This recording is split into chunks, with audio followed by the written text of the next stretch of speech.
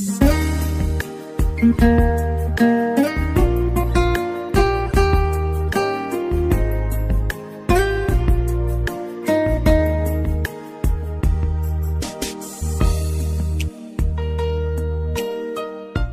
truyền chương 23 Người không được gia nhập cộng đồng dân chúa.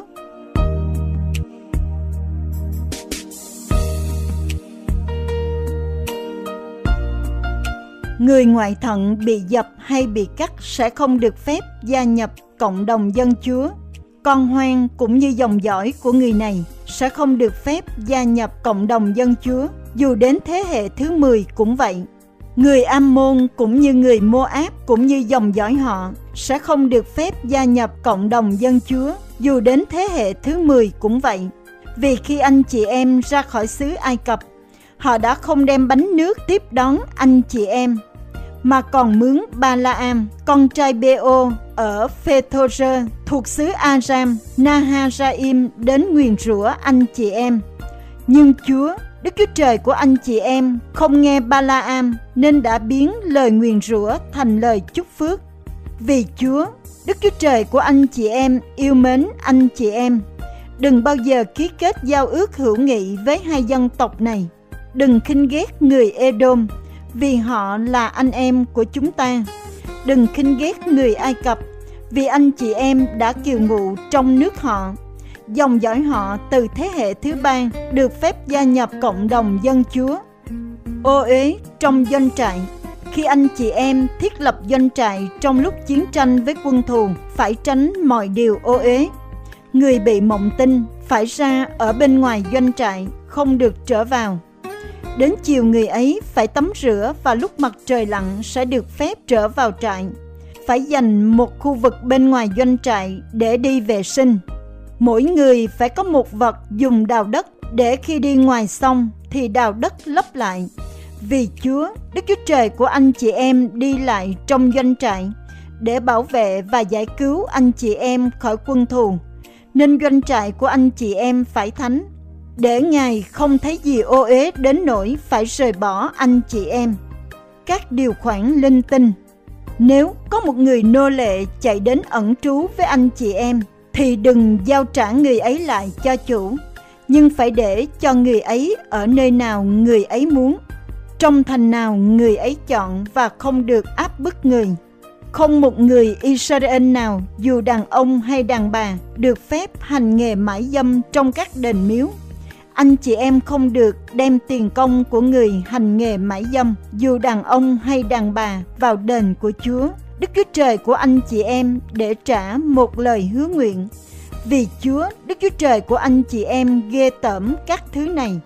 Không được cho anh em mình vay lấy lãi, dù cho vay tiền bạc, thực phẩm hay bất cứ thứ gì khác. Anh chị em có thể cho người ngoại quốc vay lấy lãi nhưng không được lấy lãi anh em người Israel. Vì như vậy, Chúa, Đức Chúa Trời của anh chị em sẽ chúc phước trên công việc tay anh chị em làm tại trong xứ anh chị em sắp vào chiếm hữu. Nếu anh chị em hứa nguyện với Chúa, Đức Chúa Trời của anh chị em một điều gì thì đừng chậm trễ, nhưng phải làm xong lời hứa nguyện mình vì chắc chắn Chúa Đức Chúa Trời của anh chị em sẽ đòi hỏi anh chị em thực hiện điều đã hứa nguyện nếu không giữ lời hứa nguyện, anh chị em sẽ phải mang tội. Nhưng nếu anh chị em tự kiềm hãm và không hứa nguyện thì không phải mang tội. Bất kỳ điều gì anh chị em nói ra thì phải nhất quyết làm cho xong. Vì chính miệng anh chị em đã tự hứa nguyện với Chúa, Đức Chúa Trời của anh chị em.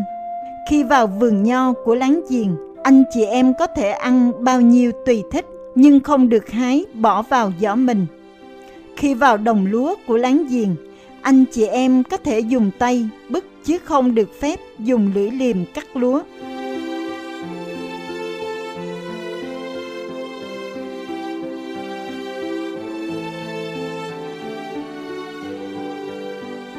Phục truyền chương 24 Nếu một người đàn ông cưới vợ rồi, không thỏa lòng vì thấy vợ có điều gì không vừa ý mình – người ấy có thể viết một tờ ly dị đưa cho vợ và bảo vợ ra khỏi nhà mình. Nếu sau khi ra khỏi nhà chồng, người đàn bà này có chồng khác, Và nếu người chồng thứ hai không ưa vợ và viết cho vợ một tờ ly dị và bảo vợ ra khỏi nhà, hay nếu người chồng thứ hai này qua đời, người chồng thứ nhất là người ly dị vợ sẽ không được cưới nàng lại vì nàng đã bị ô uế. Đó là một điều ghê tởm trước mắt Chúa. Anh chị em không được đem tội lỗi đến trên xứ Chúa. Đức Chúa Trời của anh chị em sẽ ban cho anh chị em làm cơ nghiệp. Một người vừa mới cưới vợ được khỏi đi tác chiến và khỏi làm các công tác khác trong một năm.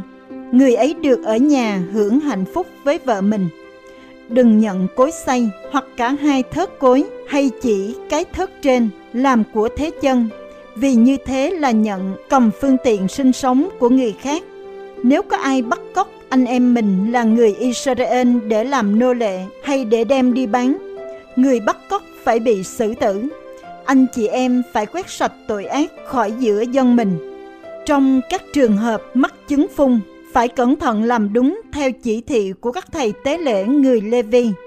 Anh chị em phải cẩn thận thi hành mạng lệnh tôi đã truyền. Phải nhớ lại việc Chúa, Đức Chúa Trời của anh chị em đã làm cho Miriam trên con đường chúng ta đi khi vừa ra khỏi xứ Ai Cập. Khi anh chị em cho người láng giềng mượn bất kỳ vật gì, không được vào nhà người ấy nhận vật thế chân, phải đứng bên ngoài đợi người ấy mang vật thế chân ra nếu người ấy nghèo, anh chị em đừng giữ vật thế chân này khi đi ngủ. Nếu đã nhận áo sống làm thế chân, anh chị em phải trả lại trước khi mặt trời lặn, để người ấy có áo sống mặc khi đi ngủ. Như vậy người ấy sẽ cảm ơn anh chị em. Và hành động này của anh chị em sẽ kể là một hành động công chính trước mắt Chúa, Đức Chúa Trời của anh chị em. Đừng lợi dụng người làm mướn nghèo khổ thiếu thốn dù người ấy là anh em người Israel hay là ngoại kiều sống chung trong thành với anh chị em, phải trả tiền công cho người ấy mỗi ngày trước khi mặt trời lặn, vì người ấy nghèo thiếu và trông mong nhận được tiền công mình. Nếu không thấy tiền công, người ấy sẽ kêu với Chúa và anh chị em phải mang tội. Cha không bị xử tử vì tội của con cái. Con cái cũng không bị xử tử vì tội của cha ai phạm tội người ấy phải chết không được đối xử bất công với ngoại kiều hay người mồ côi. Cũng đừng nhận áo sống của người quá bụa làm của cầm. Phải nhớ rằng anh chị em đã làm nô lệ trong xứ ai cập. Và chúa, đức chúa trời của anh chị em đã cứu chuộc anh chị em ra khỏi đó. Đó là lý do tôi truyền mạng lệnh này cho anh chị em. Khi gặt hái hoa màu ngoài đồng, nếu có bỏ quên một bó lúa, cũng đừng trở lại lấy. Phải để bó lúa đó lại cho ngoại kiều, kẻ mồ côi và người quá bùa, để Chúa, Đức Chúa Trời của anh chị em ban phước cho mọi công việc tay anh chị em làm. Khi đập rụng trái ô liu, đừng đập lần thứ hai, nhưng phải để những trái sót lại cho ngoại kiều, kẻ mồ côi và người quá bùa. Khi hái trái nho trong vườn nho mình, anh chị em đừng mót các trái còn trên cây nho, nhưng phải để những trái sót đó cho ngoại kiều, kẻ mồ côi và người quá bụa. Phải nhớ rằng anh chị em đã làm nô lệ trong xứ Ai Cập. Đó là lý do tôi truyền mạng lệnh này cho anh chị em.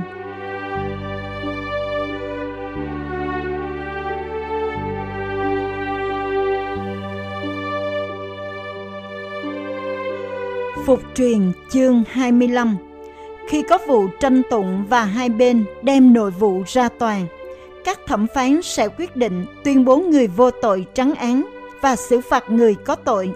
Nếu người có tội đáng bị đánh đòn, thẩm phán bảo người ấy nằm xuống và sai đánh đòn trước mặt mình. Số đòn phải tương xứng với tội đã phạm, nhưng đừng đánh quá 40 đòn. Nếu đánh quá số đó, anh chị em sẽ làm cho người anh em mình ra hèn hạ đừng khớp miệng con bò đang đạp lúa.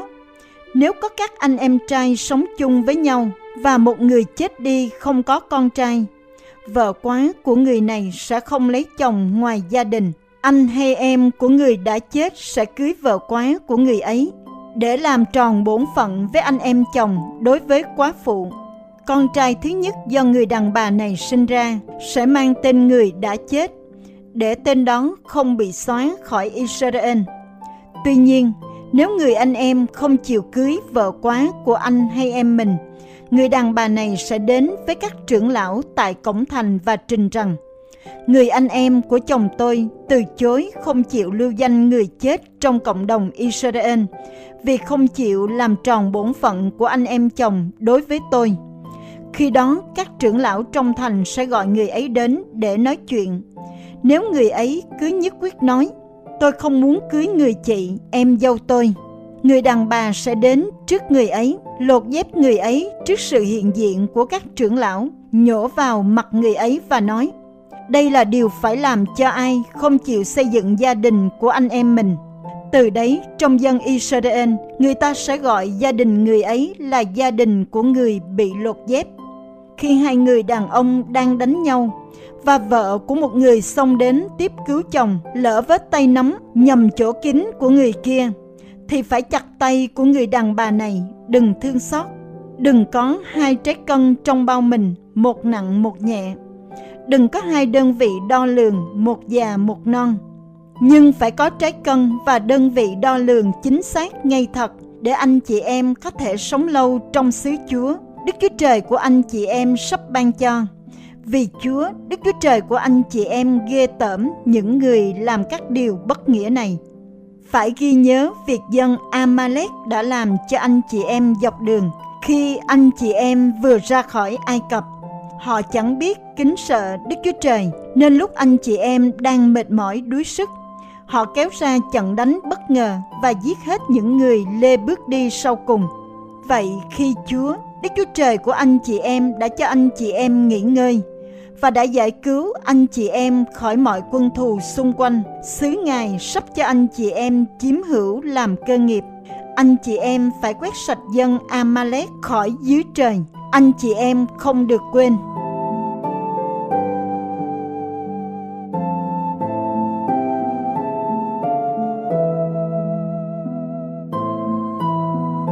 Phục truyền chương 26 Hoa màu đầu mùa và phần 10 Khi đã vào xứ Chúa, Đức Chúa Trời của anh chị em ban cho làm sản nghiệp, đã chiếm hữu đất đai và đã định cư xong.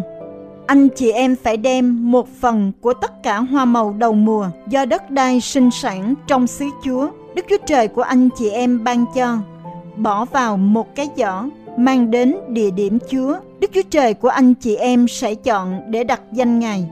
Đến gặp Thầy Tế lễ đương nhiệm và thưa, Hôm nay tôi xin thưa với Chúa, Đức Chúa Trời của ông, là tôi đã vào trong xứ Chúa ban cho chúng ta, như Ngài đã thề với các tổ tiên. Thầy tế lễ sẽ nhận giỏ hoa quả từ tay anh chị em, đem đặt trước bàn thờ của Chúa, Đức Chúa Trời của anh chị em, sau đó anh chị em sẽ thưa với Chúa, Đức Chúa Trời của anh chị em. Tổ tiên tôi là người Aram, lang thang, khi xuống Ai Cập kiều ngụ chỉ có một số ít người, nhưng nay đã trở thành một dân lớn, mạnh mẽ, đông đúc. Nhưng người Ai Cập ngược đãi chúng tôi, bắt chúng tôi lao động cực nhọc, đau khổ. Lúc đó chúng tôi kêu với Chúa, Đức Chúa Trời của tổ tiên chúng ta, Chúa nghe tiếng chúng tôi kêu vang và thấy cảnh khổ đau, cực nhọc và áp bức chúng tôi đang chịu. Chúa dùng quyền năng lớn lao vô hạn. Chúa đã làm những việc khủng khiếp, nhiều dấu kỳ phép lạ để đem chúng tôi ra khỏi xứ Ai Cập. Ngài đưa chúng tôi đến đây, ban cho chúng tôi xứ này là đất tràn đầy sữa và mật ong. Lạy Chúa, bây giờ tôi đem đến dân Chúa hoa màu đầu mùa do đất Chúa ban cho tôi sinh sản. Cầu nguyện xong, anh chị em để giỏ hoa quả trước bàn thờ Chúa, Đức Chúa Trời của anh chị em và sắp mình xuống thờ lại Ngài. Sau đó anh chị em và gia đình sẽ tổ chức tiệc mừng và mời người Lê Vi ngoài kiều sống trong thành tham dự để tỏ lòng biết ơn Chúa, Đức Chúa Trời chúng ta về mọi phước lành Ngài ban cho anh chị em. Cứ mỗi năm thứ ba gọi là năm dân hiến phần 10 anh chị em để riêng một phần mười hoa màu thu hoạch cho các người Lê Vi, các ngoại kiều, kẻ mồ côi và người quá bụa sống cùng thành với anh chị em để họ có thể ăn uống thỏa thích. Sau đó anh chị em sẽ trình với Chúa, Đức Chúa Trời của anh chị em. Tôi đã đem ra khỏi nhà phần thánh và đưa phần ấy cho người Lê Vi ngoại kiều, kẻ mồ côi và người quá bụa đúng theo lệnh Chúa đã truyền. Tôi không vi phạm cũng không quên mạng lệnh nào của Chúa. Tôi không ăn phần thánh. Lúc có tan chế cũng không đụng đến đang khi bị ô uế và cũng không cúng phần ấy cho người chết. Tôi đã vâng lời Chúa, Đức Chúa Trời của tôi và thi hành mọi điều Ngài truyền dạy. Xin Chúa từ trời, từ nơi ngự thánh của Chúa nhìn xuống chúc phước cho dân Israel của Chúa và cho xứ Chúa đã ban cho chúng tôi như Chúa đã thề hứa với các tổ tiên là xứ tràn trề sữa và mật ong. Vâng giữ các mạng lệnh của Chúa. Chúa, Đức Chúa Trời của anh chị em ngày nay truyền cho anh chị em phải làm theo các quy luật và sắc lệnh này. Anh chị em phải cẩn thận vâng giữ với tất cả tấm lòng và tất cả linh hồn mình. Hôm nay anh chị em đã xác nhận Chúa, Đức Chúa Trời của anh chị em anh chị em sẽ đi theo đường lối Ngài, giữ các điều răn, quy luật và sắc lệnh Ngài. Và anh chị em hứa sẽ vâng theo lời Ngài. Ngày hôm nay, Chúa cũng xác nhận anh chị em là dân của Ngài, là sản nghiệp quý giá của Ngài như Ngài đã hứa. Và anh chị em phải giữ mọi mạng lệnh Ngài. Ngài cũng tuyên bố Ngài sẽ làm cho anh chị em được ca tụng, danh tiếng và vinh dự hơn mọi dân tộc khác Ngài đã dựng nên và anh chị em sẽ là một dân tộc thánh cho Đức Chúa Trời. Đức Chúa Trời của anh chị em như Ngài đã hứa.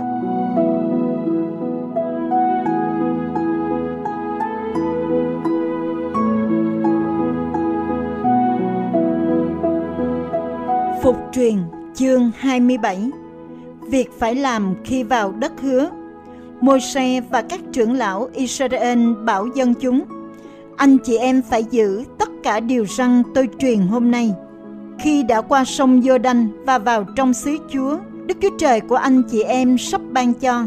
Anh chị em phải dựng các tảng đá lớn, lấy hồ trát lên, rồi viết trên đó các lời của luật pháp này. Khi anh chị em đã qua sông và vào trong xứ Chúa, Đức Chúa Trời của anh chị em sắp ban cho là một xứ tràn trề sữa và mật ong như Chúa, Đức Chúa Trời của các tổ tiên đã hứa với anh chị em. Sau khi đã qua sông giô đanh anh chị em dựng các tảng đá đó trên núi E-banh và lấy hồ trát lên, như tôi truyền dạy anh chị em hôm nay. Cũng thiết lập ở đó một bàn thờ bằng đá cho Chúa, Đức Chúa Trời của đồng bào.